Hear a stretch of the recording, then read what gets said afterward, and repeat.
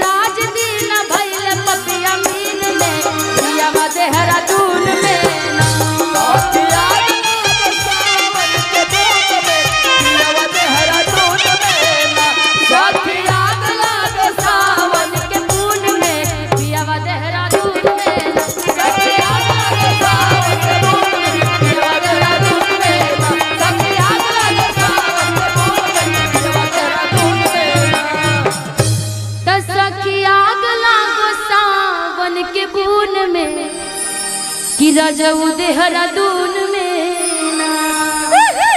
हम चाहेंगे कि अब अंजनी जी आए, क्योंकि काफ़ी ज़्यादा मंच पे गर्मी भी बहुत ज़्यादा है। अभी दो तीन गाने का